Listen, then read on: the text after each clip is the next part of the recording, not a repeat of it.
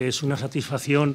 pues, para alguien que trabaja en la sierra el poder presentar esta primera fiesta de la vendimia, eh, una, vendimia eh, de un producto mm, que lleva muchos años eh, teniendo un prestigio. Somos una denominación de origen muy pequeña, pienso que la más pequeña de España,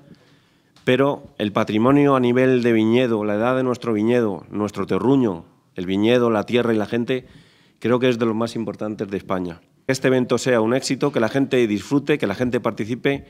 y un poco que asista a San Martín del Castañar los días 12 y 13 de octubre.